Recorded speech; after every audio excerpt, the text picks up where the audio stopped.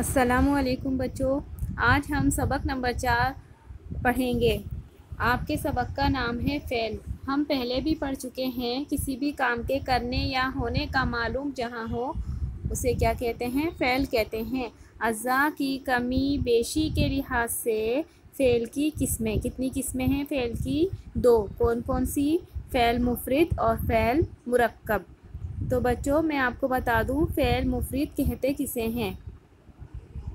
Fail मुफरद, वो fail है जो मजदर मुदरिस से बना हो, जैसे आया, गया, लिखा वगैरह।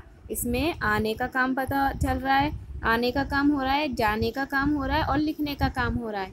इसी तरह से है फ़ेल मुरक्कब, वो फ़ेल जो मजदर मज़ीद फ़िया से बना हो, जैसे कर लिया होगा, हो चुकेगा।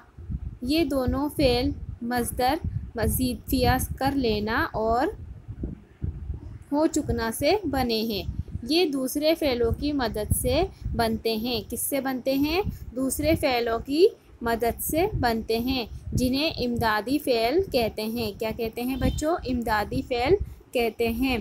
तो बच्चों, इस सबक में आपको सिर्फ़ फ़ैल मुफरद और फ़ैल मुरक्कब ही बताया गया है। अब आप इसकी मश्क करेंगे। सवाल नंबर एक है, फ़ैल मुफरद किसे कहते हैं? तो जवाब है, फ़ैल मुफरद वो फ़ैल है जो मजदर मुजरिस से बना हो, जैसे आया, गया, लिखा वगैरह। इसी तरह से सवाल नंबर दो, फ़ैल मुरक्कब की तारीफ़ बयान कीजिए।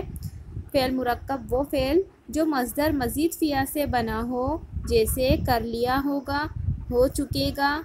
ये दोनों फ़ैल मजदर मज़ीद फ़िया कर लेना और हो चुकना से बने हैं। इसी तरह से सवाल नंबर तीन, इमदादी फ़ैल किसे कहते हैं?